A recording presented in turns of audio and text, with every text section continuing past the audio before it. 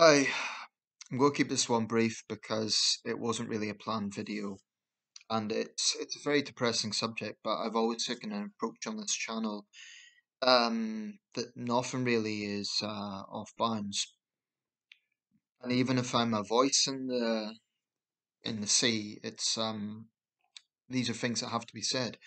So one of the main narratives that um, the Kremlin has used throughout this war, throughout this invasion of Ukraine, is this repeated, repeated, repeated um, mantra of taking on Ukrainian fascists and Nazis, and they use the terms interchangeably.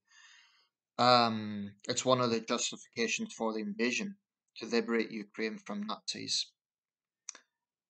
Um, now, what's interesting is even Russian Ukrainians, that is, uh, Russians living in Ukraine, and perhaps people with one parent who's Russian, people with uh, Russian descent. Um, because there will be a lot in Ukraine, there's, you know, that's no mystery. Even they have um, rejected the, the Kremlin's attitude that it's somehow fighting for them. Um, it's true there will be Russian loyalists in Donetsk and Luhansk, but um, I question how uh, how significant they really are, because if there was mass support for Russia within Ukraine, you know, wouldn't the Ukrainians have welcomed the Russian liberators with open arms um, and overthrown the supposedly fascist government of Zelensky? Um, the fact he's Jewish uh, seems to go out the window. Um, Sergei Lavrov claimed that Hitler had Jewish um, ancestry. There, there's some possibility of that, but he was saying it as a way of sort of vindicating. Well, it doesn't matter if the president's Jewish.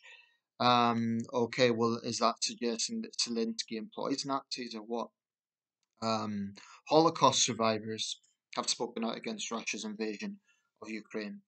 But I've just seen a report, um, CNN, uh, an interview with a woman who was captured at Mariupol. Now, she was a volunteer medic. Medic. She wasn't a soldier, she wasn't um, a combatant of any kind, she was a medic. She was captured by the Russians, held for weeks, actually, I believe it was two months. Um, this was after Mariupol was first attacked, I believe. Um, she endured prolonged, basically torture. She was psychologically tortured. She was repeatedly called a Nazi, um, subjected to show trials, physically beaten. Um, that's what these Russian thugs are doing. Now, contrast that to Russian prisoners in Ukrainian hands who have been given due process, they haven't been beaten. Um, it, it's just a contrast. In fact, early in the war, Ukrainians were even given young Russian soldiers phones to contact their families, giving them food. This is hardly a fascist people. And of course, um, you know, there will be people with a vested interest. They will find fascists in Ukraine. They will find neo Nazis. Um, there were remnants of the Azov battalion, for example. Now it's a bit more uh, diverse in its makeup, but certainly the Azov battalion had a questionable background. I'm not going to deny that.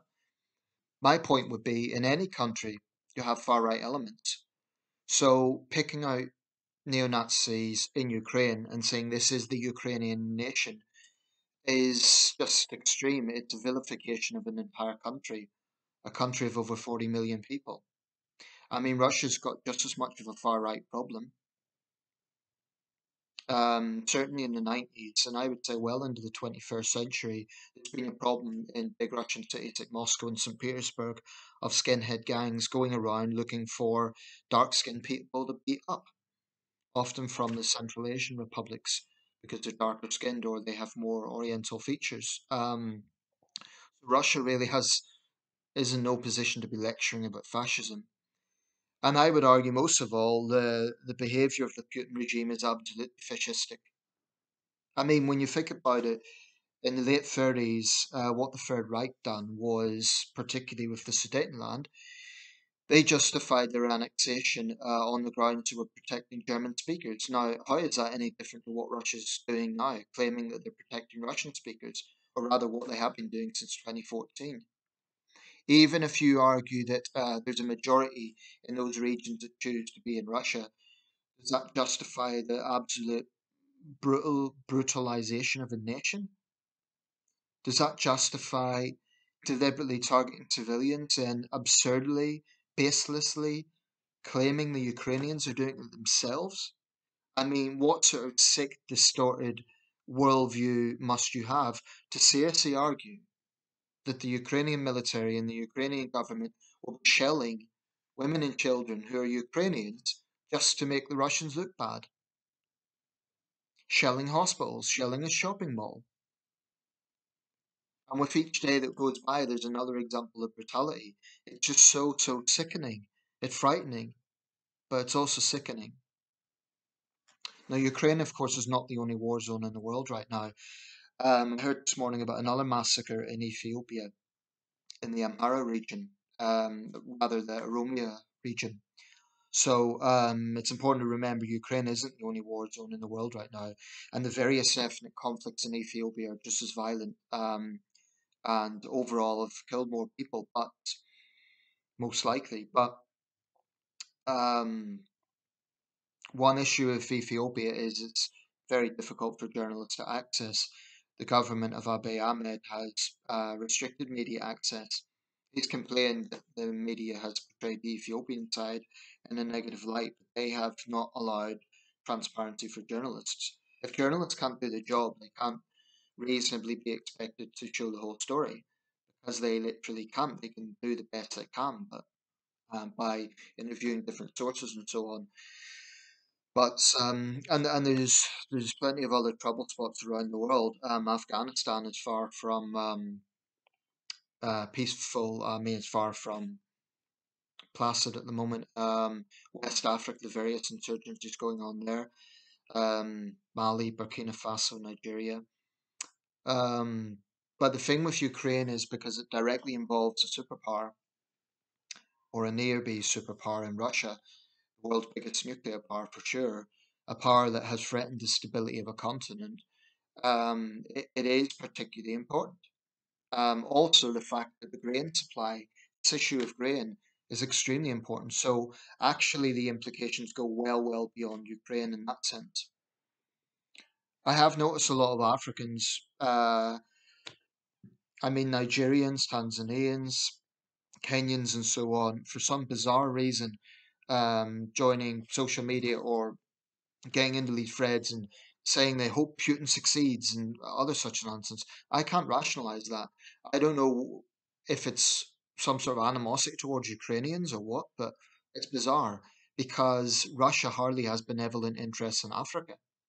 The antics of the Wagner division, for example, Wagner division, um, curiously named, sounds more Germanic, but um, you know, mercenaries in Mali and so on. Um, I I believe I believe Putin's regime is evil, and I think it's been responsible for so much pain in the world. I mean, throughout the Syria war, they propped up the Assad dictatorship, um, which was committing heinous heinous acts, um, just as bad as anything going on in Ukraine. You know, dropping barrel bombs on children, and um, I'm going to round this up because I've mentioned all these issues before. But when I when I think of Westerners in particular, you know, Russian nationalists, I expect it from them because they're they are what they are. They're they're nationalistic. They will they're dogmatic about it. They will fight to the death for the motherland. Um, but when I see Westerners going out of the way to defend Putin and Putinism, I honestly want to vomit. I honestly want to vomit because they think that they're being smart. Oh, I don't listen to mainstream media. Oh, so you believe RT instead? These people are. I'd like to give them the benefit of the doubt and say they're just plain ignorant, but I think it's worse than that. I think they know. I think they know what Russia's doing in Ukraine, but it might be that they've been spouting off uh, about their support for Russia and they want to save face by not admitting they were wrong. But I, I just don't. I, I'm not even going to try and get into their mindset. Then you get people um, who kind of pretend to be neutral, but they have some very, very dubious positions. Uh, I would mention someone like Kim Iversen. I've mentioned her a few times. I'm not picking on her, there's other examples, but just as an example, you know, her posts on the Hill on the subject of the Ukraine war, she sort of veins this neutrality. But she will come out with these sarcastic conspiracy theories about NATO and the West, and she won't have a damn thing to say about Russia. Instead, she'll just quote Russia. Oh, and I'm just a messenger, don't shoot me. But um, she's failing as a journalist by failing to scrutinize Russia and failing to scrutinize Russian claims. I mean, when the atrocities were happening at Bucha and Kramatorsk, she was simply regurgitating the Russian line. She wasn't saying this cannot be proven or um, Russia has been known to um, Russia has been proven to make up statements such as the special military operation and there would be no invasion of Ukraine, and that's precisely what happened. So my simple question for those useful idiots and Putin stooges is how do you explain that? You know, for weeks Russia said they wouldn't invade, and that is exactly what they've done. So even in your distorted, sick worldview, if you think Russia is right, how the hell do you explain that? How do you explain that lie? How, how, how can you deny it? It's like this cognitive dishonesty that they have, um, and it's pathetic. But like I say, this is going to take generations really for um, for any sort of reconciliation because if you've been tortured for two months, the psychological effect of that um, will last for a very long time. I can only imagine what it's like. I've never been through it, but I can imagine what it's like. I would say the the anxiety, the mental anguish, um, must be awful. Um, and it's just pure evil what these Russians are doing. I think Russian troops in Ukraine may also be desensitized in a similar way to the way American troops were in Vietnam. So I think they're sort of desensitized because they've been brainwashed that they're doing the right thing. And they've been sort of programmed to believe that the Ukrainians are Nazis. Oh, well, we're only hurting Nazis. They're bad people. So it doesn't matter what we do to them. This is an extremely dangerous thing. Um, it's just pure evil. That's why I I so so hope that Ukraine prevails. It's why the one one risk is war fatigue. That is the way the news cycle works. Is you know when this invasion happened, it was a huge story. Understandably, people were talking about it. It was a huge thing. There was solidarity for Ukraine, and I think there still is. But then people will turn on the news and say, "Oh, Ukraine, the war there. What's new?" And that's a danger, particularly if it permeates to political level, because then people kind of resignate to the fact that well, it's just the Russians and Ukrainians fighting, and they forget that actually, if this spreads beyond Ukraine, um, it, it's it's directly threatening a whole continent. So I don't think I think there there shouldn't be complacency about this. Um, the war is very much raging on. People are suffering every day. Russian brutality continues every day. Um, I try to avoid, incidentally, pro Putin people because they just sicken me so much, and I don't trust myself to lose my rag, quite honestly. Getting back to that video I was speaking about how you can't be friends with everyone, well, this is a good example. I could not be amicable to someone condoning what Russia's doing right now. More likely, I'll just avoid them. Because I honestly wouldn't trust myself not to lose my rag because I just think it is so um, just so uh, messed up. Ukraine has to prevail. Just has to. Thanks for watching.